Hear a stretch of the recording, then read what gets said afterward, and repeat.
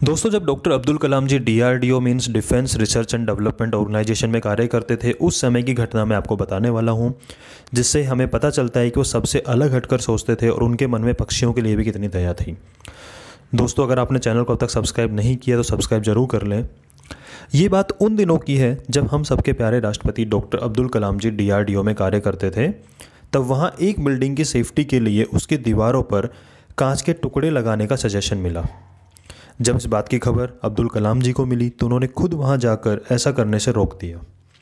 और वहाँ पर उपस्थित सभी लोगों से कहा, ऐसा करने से जो पक्षी दीवार पर बैठते हैं, वो कांच के टुकड़ों से घायल हो सकते हैं, इसलिए कोई और तरीका निकालो।